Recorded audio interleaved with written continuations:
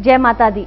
बहुत बहुत स्वागत है आपका हमारे इस विशेष कार्यक्रम में और मैं हूँ मौलिका शर्मा। कहते हैं, या देवी सर्वभूतेषु शक्ति रूपेण संस्थिता नमस्तस्यै नमस्तस्यै नमस्तस्यै नमो नमः। यहाँ 21 सितंबर गुरुवार को शारदीय नवरात्र का शुभारंभ होने जा रहा है। क्या कुछ विशेष किया जा सकता है माँ को प्रसन्न करने के लिए? श्रृंगार में क्या कुछ विशेष कर सकते हैं? माँ को कौन सा भोग अति प्रिय है? जी हाँ जो खेतरी बीजी जाती है, उसमें क्या कुछ विशेष किया जा सकता है? ये तमाम जानकारियाँ आज इस कार्यक्रम के ज़रिए, कार्यक्रम के माध्यम से हम आपको बताएँगे। और वो तमाम बातें हमें इस कार्यक्रम के ज़रिए बताएँगे, हमारे इस कार्यक्रम में उपस्थित गुरुवार के भारद्वाजी। जो परिचय के मोहताज नहीं। तो चलिए आज फिर से शुभारंभ करते हैं कार्यक्रम का, आशीर्वाद लेते हैं गुरु जी का। गुरु जी बहुत बहुत स्वागत है आपका। जय माता दी। जय माता गुरु जी आज हम आपसे नवरात्र की चर्चा चलेंगे। वैसे तो लगातार हम आपसे जुड़े ही रहेंगे कार्यक्रमों कार्यक्रम के माध्यम से। आज आप हमें बताएँ सर्वप्रथम नवरात्र का अर्थ क्या होता है? देखिए मैं एक चीज़ बताता हूँ कि अगर जो भी दर्शक इसको देख रहे हो वो अपने नोट्स बनाएँ। क्योंकि जो मैं बताऊँगा वो चीज़ें प्रैक्टिकल हैं वो मैं किताबी ज्ञान नहीं देने जा रहा हूँ। पहली चीज़ नवरात्र का अर्थ है इसका सीधा शब्दार्थिक अर्थ को नौ रात्रे नौ रातें। रात ही क्यों कहा जाता है दिन क्यों नौ दिन क्यों नहीं कहा गया? नवरात्रे और एक दसवा दिन। नवरात्रे का अर्थ होता है नौ रातें और रातों को ही जागृत किया जाता अपने आप को क्योंकि रात के अंदर जो हमारी वाइब्रेशन है वो बहुत तेज हो जाती है। आप कभी भी देखिएगा रेडियो में रात को वो स्टेशन आते जो दिन में नहीं आते ठीक है? इसलिए बिल्कुल शून्य होता है और शून्य के अंदर किए हुए मंत्रों का उच्चारण कई गुना सफ़र तय करता है इसलिए नौ रात और दसवा दिन। इन नौ दिनों में किसकी पूजा अर्चना की जाती है वैसे सबसे बड़ी चीज़ ये है कि हम अगर ये पूजा करें तो क्यों करें? देखिए जीवन के दुख को हटाने के लिए जीवन में सुख पाने के लिए और कई प्रकार की सिद्धियों को प्राप्त करने के लिए ये पूजा की जाती है। क्या करें? इसमें व्रत करें संयम करें नियम करें यज्ञ करें भजन करें पूजन करें और योग साधना करें। अब आता है कि पूजा किसकी करें? इसका नाम ही है दुर्गा अष्टमी। दुर्गा का मतलब दुर्गा दुर्गति दूर करने वाली। दुर्ग का मतलब किला। हमारी दुर्गति के खिलाफ जो किला है उसकी स्वामिनी जो है वो दुर्गा है। अब दुर्गा के आठ दिन हमें दिए हुए हैं नौ दिन बल्कि होते हैं। अब इन नौ दिनों में तीन दिन हम दुर्गा जी की पूजा करें। चार से छः दिन हम लक्ष्मी जी की पूजा करें और सात आठ नौ दिन हम माँ सरस्वती जी की पूजा करें। संकट से बचाए लक्ष्मी अपार दे मगर उसके बाद सरस्वती जी से बुद्धि भी मांगते हैं ताकि लक्ष्मी भी आए मगर अहंकार ना आए। कितने मंत्रों का जाप किया जाता है गुरु जी इसमें? दुर्गा सप्तती एक अपने आप में एक संपूर्ण ग्रंथ है। दुर्गा जी का एक पूर्ण शास्त्र है मार्कंडे पुराण का हिस्सा है। 700 श्लोक सप्त क्षति मैंने 700 श्लोक। 700 श्लोक का समूह जो है वो दुर्गा सप्तती है और इसका पाठ हमें करना चाहिए। ये मंत्र कहाँ पर है? देखिए मंत्र का मतलब होता है कि मंत्र मन से जो तरण यानी कि पैदा कर दे। अब इसके लिए जो मन को जोड़ देता है अब इसको मैंने एक बड़ी गुप्त चीज़ बताने जाता हूँ। जो प्रयोग जानते हैं जो साधना करना चाहते हैं इसमें नब्बे मंत्र जो है मारण के हैं। नब्बे मंत्र जो है मोहन के हैं और आपके 200 मंत्र दुर्गा सप्तशती में उच्चाटन के हैं और 200 ही मंत्र स्तंभन क्रिया के हैं और इसमें 60 मंत्र विद्वेषण क्रिया के हैं और 60 मंत्र वशीकरण के हैं। यानी कि मारण, मोहन, उच्चाटन विद्वेषण, स्तंभन और वशीकरण आप दुर्गा सप्तशती के माध्यम से कर सकते हैं। इन नौ दिनों में दुर्गा सप्तशती का पाठ कैसे किया जाए गुरु जी ये भी आप हमें बताएँ। दुर्गा सप्तशती को रखो, सबसे पहले पुस्तक की पूजा करो। दुर्गा सप्तशती का मतलब है स्वयं माँ दुर्गा की उपस्थिति। लाल कपड़े में बंद कर रखो, लकड़ी का नीचे आसन दो, चौकटी पे लाल कपड़ा बिछाओ उस पर दुर्गा सप्तशती रखो, फूलों से उसका मंत्र का जाप करो और उसके बाद शापो, शाप का खत्म करने के लिए मंत्र है, उत्कीलन मंत्र है। इन दोनों का जाप करने के बाद आप पहले दिन सिर्फ़ एक अध्याय करो, दूसरे दिन भगवती का दूसरा और तीसरा अध्याय करो, तीसरे दिन भगवती के उस दुर्गा सप्तशती का चौथा अध्याय करो, चौथे दिन जो है पाँच छः सात, आठ पाठ करो, और उसके बाद पाँचवें दिन नौवां और दसवां पाठ करो, छठे दिन आप ग्यारहवां करो, और बारहवें दिन बारहवां और सॉरी सातवें दिन बारहवां और तेरह पाठ का करो। टोटल तेरह अध्याय होते हैं तेरह अध्यायों के मैंने आपको बता दिया। पहले दिन पहला दूसरे दिन दूसरा तीसरा तीसरे दिन चौथा चौथे दिन पाँच छः सात आठ पाँचवें दिन नौ और दस और छठे दिन ग्यारह और सातवें दिन बारह और तेरह। फिर उसके बाद इसका रिवीजन करो। क्या मुहूर्त है और क्या कुछ विशेष किया जा सकता है? देखिए जी मैंने आपको अभी बताया नवरात्रि का नौ दिन दस दिन। नौ रातें दसवां दिन। ठीक है जी? और ये सिद्धि का समय है बहुत बड़ा समय है। अब आ जाते हम इसका मुहूर्त का मुहूर्त का मतलब होता है घट स्थापन। हम उसके मटका स्थापित करें। मटका क्यों स्थापित किया जाता है? मटका का मतलब है उसमें जल डाला जाता है, संपूर्ण तीर्थों का जल डाला जाता है। उस दौरान जो पाठ किए जाते हैं, उसे जल अभिमंत्रित होता है और उस जल के अभिमंत्रित जल से अभिषेक किया जाता है, जिससे शरीर भी जागृत हो जाता है।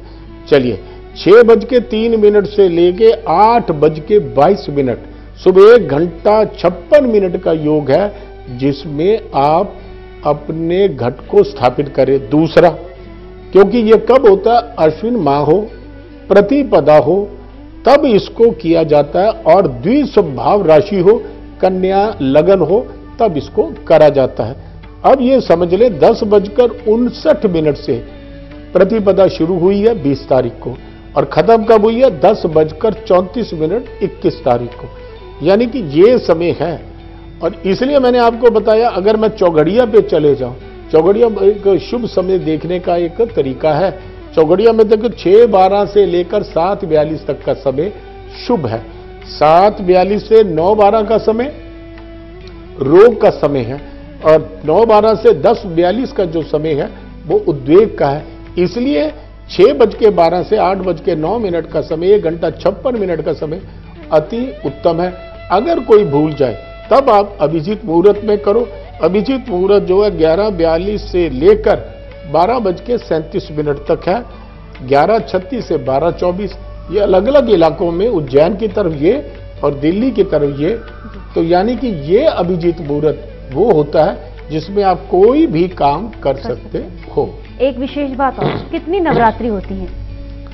देखिए जी नवरात्र चार होते हैं वैसे आप लोगों के लिए वैसे और भी बताता हूँ छह होते हैं। मगर हम लोग जो है सर जो ग्रस्त हैं इसमें भी होता है स्मार्त और वैष्णवी। स्मार्त और वैष्णवी वैष्णवी का मतलब हम लोग सब स्मार्त हैं। हम वैष्णवी नहीं है। वैष्णवी जो विधिवत दीक्षा की होती है वो लोग वैष्णवी होते हैं। हम लोग स्मार्त हैं ठीक अभी आगे। और हमारे लिए जो दुर्गा सप्तती का यानी कि नवरात्रे जो है वो दो हैं चैत्र मास में और अश्विन मास। चैत्र का मतलब मार्च के महीने में और अश्विन का मतलब सितंबर और अक्टूबर के बीच में। मगर उसके बाद आ जाता अषाढ़ और माघ। अषाढ़ और माघ के जो नवरात्रे हैं, वो बड़े ही गुप्त नवरात्रे हैं। विशेष प्रकार की गुप्त साधनाएँ करने वाले जो लोग हैं, वो उस समय किसी को इसका गवाह नहीं बनाते हैं और बड़े वीरान और अकेले स्थानों पर गुप्त नवरात्रि की पूजा होती है। माँ के रूपों के विषय में भी ज़रूर जानेंगे। माँ के जो नौ रूप होते हैं कौन कौन से होते हैं, ये भी आप हमें इक्कीस तारीख को शैल पुत्री की पूजा है, बाईस को ब्रह्मचारिणी और तेईस को माँ चंद्र घंटा की, और चौबीस तारीख को माँ कुश मांडा की, और पच्चीस तारीख को स्कंद माता की, छब्बीस को माँ कात्यानी की पूजा है, सत्ताईस को माँ कालरात्रि की, अट्ठाईस को माँ गौरी की पूजा है, और उनतीस को सिद्धिदात्री का मतलब सब प्रकार की सिद्धि प्राप्त हो जाए कई लोग कलश भी स्थापित करते हैं। किस दिशा में स्थापित किया जाए और क्या डाला जाए, ये भी आप हमें बताएँ। पूरब और उत्तर के बीच में, आप अपने पूरब का मतलब जहाँ से सूर्य निकलता है, यूँ सीधा खड़े हो जाए सूर्य की तरफ़, ऐसे देखे स्ट्रेट आपकी आँखों के सामने सूर्य हो तो ये हो गया पूरब, पीछे हो गया पश्चिम, ये हो गया उल्टा हाथ उत्तर और सीधा हाथ हो गया दक्षिण। तो पूरब और उत्तर के बीच में ईशान कोण होता है, उस ईशान कोण पे आप अपने घट को स्थापित करें और घट को स्थापित करने पहले ज़मीन पे कुछ मिट्टी बिछाएँ और उसमें गाय का गोबर मिलाएँ, रेत मिलाएँ और उसके ऊपर आप थोड़े से यव, यानी कि जौ डाल दें उसके ऊपर घट स्थापित करते हैं या अलग पात्र में जौ, अलग बीज दें और घट स्थापित करने के लिए कलश बना के उस पर आप स्वस्तिक या दुर्गा जी का निशान बना के, अष्ट यंत्र बना के, उसके ऊपर दुर्गा जी का वो कलश जो है स्थापित करें। सबसे पहले आपका मिट्टी का भी हो सकता है, मगर धातु का बनाओ बहुत अच्छा क्योंकि नौ दिन रहना है, वो खराब ना हो। दूसरा, फिर मौली बांधो। मौली बाँध के उसके अंदर जल डाल दो। जल डाल के उसमें थोड़े से चावल डाल दो, अक्षत डालना। उसके बाद पाँच रतन जो है, पाँच प्रकार के रत्न, धातुएँ जो है, वो डाल दो। तुलसी की पत्ती डाल दो, सर्व औषधि डालो। उसके बाद उसको तिलक करो, चारों तरफ़ से नौ तिलक कर दो। उसके बाद फूल डालो, दुर्बा डाल दो। दुर्बा घास है और दुर्बा जो होती है, वो हमारे लिए एंटीसेप्टिक एंटीबायोटिक और सबसे ज़्यादा पवित्र करने की जो वनस्पति है, वो दुर्बा है। दुर्बा डाल दो, उसमें सिक्के डाल दो और पान के नौ पत्ते आपने रख दिया, उसके ऊपर कोई ढक्कन रख दो या दोना रख दो, दोने में चावल भर दो, नौ पत्ते आम के चारों तरफ़ बाँध। कलश का अर्थ भी समझाएँ गुरु जी आप हमें। कलश का मतलब है जिसके अंदर ब्रह्मा, विष्णु, महेश, यानी कि सब देवी, देवता, संपूर्ण तीर्थों का निवास उसमें हम संकल्प के माध्यम से कर देते हैं। उसमें क्या कहते हैं? हम उसमें सब देवताओं का आह्वान करते हैं कि गंगा, जमुना, सरस्वती, कावेरी, जले स्मृति सिद्धि, गुरु, सब इसके अंदर आ जाओ। सब देवी, देवताओं का आह्वान करते हैं और वरुण देव का नमस्कार करके कलश की विधिवत पूजा करते हैं। पूजा करने के बाद उसके ऊपर फिर नारियल रखते हैं। अब आपको मैं और बताता हूँ, नारियल यूँ पकड़ोगे तो जो उसका पिछला हिस्सा होता है बड़ा हिस्सा, जैसे जिससे नारियल ऐसे लगा होता है पैदा होता है वो उसका मुँह होता। है आगे चोंच होती है, वो उसकी पूंछ होती है, मुँह हमारे सामने हो। क्योंकि अगर नारियल को आपने ऐसे नीचे मुँह करके खड़ा कर दिया तो रोग हो जाता है। अगर उसका मुँह ऊपर करके खड़ा कर दिया तो याद रखो आपकी वृद्धि रुक जाएगी। बुद्धि खराब हो सकती है। और अगर आपने उसको ऊपर रखा तो धन हानि हो सकती है।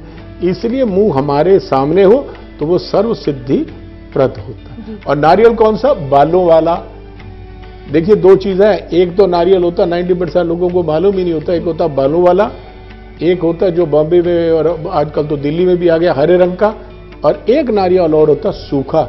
वो पूजा का नारियल है उसको हलवान बोलते हैं। हलवान एक कपड़ा होता है लाल रंग का उससे लपेट के मौली बाँध के उसको स्थापित किया जाए जो जो बोलते हैं कुछ लोग उसको खेतरी भी बोलते हैं वो कैसे बोलते हैं और उसकी क्या विधि है आप हमें बताएँ। देखिए कलश में सुख समृद्धि वैभव प्राप्त हो मंगल कामनाएँ हो कष्टदायक तरंगे हमारे घर की खत्म हो जाएँ और क्योंकि इसके मुँह पर विष्णु जी का निवास है कंठ मैंने गले में यहाँ रुद्र का निवास है और बच, बीच में समस्त दैवी शक्तियों का निवास है और उसके नीचे ब्रह्मा जी का निवास है। अब आपको बताता हूँ, मिट्टी का पात्र ले लो और उसके अंदर जौ डालो। जौ के चारों तरफ़ जौ इस तरह से दबाओ कि कलश के नीचे दबे ना। ऊपर ऊपर रहे थोड़ी थोड़ी मिट्टी ऊपर छिड़क दो, गाय का गोबर होना चाहिए, पानी का हल्का सा छीटा दो, बिल्कुल पानी भी नहीं भरना और चूहों से और पक्षियों से बचा के रखना, क्योंकि उसमें कलश में मैंने सामान बताया, सुपारी डाल दो। उसके बाद आपने क्या करना है? कलश का एक चमत्कार है और स्वयं उस खेतरी का एक चमत्कार है। इसको हम ज्वारे भी बोलते हैं, जौ बीजना भी बोलते हैं, पंजाबी के तरफ़ के लोग इसको खेतरी बीजना भी बोलते हैं। इसका मतलब ये है कि जब जौ उगे, तब उन जौ को बड़े ध्यान से देखना होता है। ये साल हमारा बहुत अच्छा जाएगा अगर वो हरे हो गए और लंबे लंबे हो गए। अगर बिल्कुल वो छोटे छोटे से हो गए तो ये साल मध्यम जाना है। और अगर बहुत सारे पीले हो गए या उगे ही नहीं तो ये साल निकृष्ट जाएगा। मगर एक और होता उसके अंदर, हज़ारों जब ज्वारे बीजे जाते हैं, किसी एक किस्मत वाले के ज्वारे के अंदर बिल्कुल सफ़ेद रंग का ज्वारा, जौ निकलती है।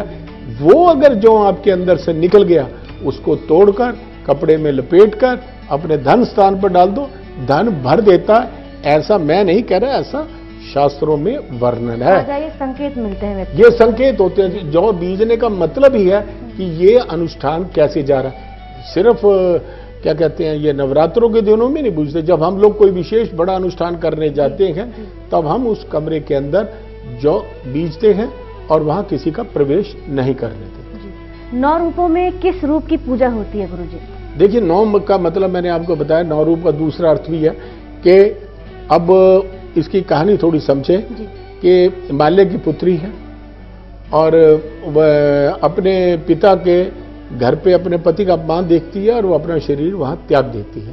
त्यागने के बाद वो हिमालय के घर पैदा हुई इसलिए उनका नाम रखा गया शैलपुत्री। ठीक अब वो शैलपुत्री है और उसको ये आदेश हो जाता उनको कि शंकर जी तुझे पति रूप में प्राप्त होंगे, क्योंकि वो हमेशा शंकर जी की अर्धाग्नि है। बस, वो तपस्या करनी शुरू कर देते हैं। और तपस्या का ही है। पहले शैल रूप धारण किया, फिर ब्रह्मचारिणी रूप धारण किया। वो अलग अलग रूप है, जिनके रूपों के हिसाब से सिद्धि की ओर साधक अग्रसर होता है। बहुत बड़ा इसका विधि विधान है। अगर आप ढंग से और बिल्कुल ईमानदारी से कोई योग्य साधक आपको समझाए तो आप नौ दिनों के अंदर विशेष प्रकार की सिद्धियाँ प्राप्त कर सकते हो। ये मैं गलत नहीं कह रहा हूँ। बिल्कुल हो सकती है मगर विधि दान यम नियम का पालन करते और विधान से चलोगे तो बहुत बहुत ज़्यादा लाभ आते हैं। एक विशेष बात और कैसा है माँ का रूप आप हमें बताएँ। माँ का रूप सीधी सी बात समझो कि माँ के दाएँ हाथ में त्रिशूल है बाएँ हाथ में कमल है और माँ जो है, बैल की सवारी कर रही है। बैल पर माँ विराजमान है और इस रूप को देख के जब ध्यान किया जाएगा, भ्रिकुटी से दो एक विधि है, चलो। तब जो हमारा मन है, वो मूलाधार चक्र को जागृत करने के काबिल हो जाता है। मूलाधार चक्र में कौन से शब्द सुनाई देते हैं? कौन कौन सी दृष्टियाँ दिखती हैं? कौन सी उसकी यक्षणियाँ उसके दर्शन होते हैं और विशेष प्रकार के मंत्रों का ज्ञान प्राप्त होता है। ये पहली स्टेज है मूलाधार चक्र जागृत करने की। क्या भोग लगाया जाए माँ को आप हमें बताएँ गुरु जी घी और घी से बनी वस्तुएँ मतलब देश गाय का बना घी दान करो गाय के बने घी से बनाई हुई वस्तुएँ दान करो माँ को भोग लगाओ। वैसे हलवा हो गया पूरी हो गई मिठाई हो गई ये माँ का बहुत ही प्रिय प्रिय भोग है। सुख शांति समृद्धि के लिए इन नवरात्रों में क्या कुछ विशेष किया जा सकता है? देखिए आपने जैसे पूछा कि सुख समृद्धि शांति मैं कहता हूँ सब कुछ प्राप्त हो सकता है। सुख शांति समृद्धि नहीं आदमी स्वयं स्वतः सिद्ध हो सकता है। दुर्गा सप्तती का विधिवत अनुष्ठान पता हो। दुर्गा सप्तती का पाठ किस तरह से करना है? दुर्गा सप्तशती के समय आसन क्या हो? दुर्गा सप्तती का पूर्ण विधि विधान से अगर आप करें, नियम और पालन से, मैं दावे के साथ कहता हूँ कि आठ दिन जीवन के क्रांतिकारी परिवर्तन के लिए बहुत होते हैं। इसमें आदमी स्वतः सिद्ध हो जाता है। जैसे जैसे काल रात्रि रूप, सिद्धिदात्री रूप आता है, ठीक वही रूप साधक को भी प्राप्त होता जाता है। ये मज़ाक नहीं है, ये सच है। कौन कौन से स्वर सुनाई देने हैं, कैसी ध्वनियाँ सुनाई देती है, कैसी खुशबुएँ सुनाई, सुनता आदमी। कई प्रकार के एहसास होते हैं और जब एहसास होते हैं तो आदमी सिद्धिता की ओर अग्रसर होता है, दुखों का नाश होता है और कई प्रकार की मनोकामनाएँ पूर्ण हो जाती हैं। और जो वैष्णवी साधक है, यानी कि जिनका उद्देश्य सिर्फ़ भगवान की प्राप्ति है, उसको माँ भगवती का साक्षात दर्शन होता है संक्षिप्त में जानेंगे विधान की प्रक्रिया आपसे। संक्षिप्त के अंदर विधान की प्रक्रिया बताने का मतलब है कि हवाई जहाज़ को ऐसे उड़ाना है तो ना वो उड़ेगा और वो लेके गिर जाएगा। ये बहुत विधि है। विधि और विधान के साथ है। मैंने आपको एक शब्द बताया यम नियम पालन करना। आसन कौन सा हो दिशा कौन सी हो उसमें क्या क्या संयम है क्या भोग हम लें कैसे कुंडलनी के लिए नीचे कौन सी वस्तु रखते हैं और कौन सा, क्या कहते हैं कई प्रकार के वो होते हैं, बंधन होते हैं। कौन सा बंद लगाना है? उड़ियान लगाना है हीरियान लगाना कौन सा बंद लगाना है? किस तरह से इसको जागृत करना है? माला कौन सी पकड़नी है? चेस्ट के ऊपर रखनी है, भ्रिकटी पे रखनी है, किस दिशा पे रखनी है? हवन के बीज मंत्र कौन से हैं? ये पूरा बहुत बड़ा एक विधि विधान है। मगर अगर आदमी इसको जान के करे अरे भैया कुछ भी ना हो नौ दिन दुम दुर्गा नमा दुम दुर्गाय नमा का जाप करो निरंतर। तो अब नौ दिन में बहुत कुछ मिल जाएगा। ये मज़ाक दिन नहीं। है चलते चलते संदेश स्वरूप का कुछ विशेष कहेंगे गुरु जी आप। बच्चे माँ के आगे रोते हैं तुम भी रहो मैं भी रहो और मिलके माँ से उस शक्ति तत्व से जहाँ से देवता भी शक्ति प्राप्त करते हैं उस जग जनी जगदम्बिका दुर्गा से हम भी शक्ति मांगे अपने परिवार के लिए अपने जीवन के लिए। हमारा अगंत और पिचंत सब ठीक हो जाए। ऐसी प्रार्थना दुर्गति नाशिनी माँ दुर्गा से करें। गुरु जी आज आपकी तमाम जानकारियों के लिए बहुत बहुत शुक्रिया। धन्यवाद। धन्यवाद। जय माता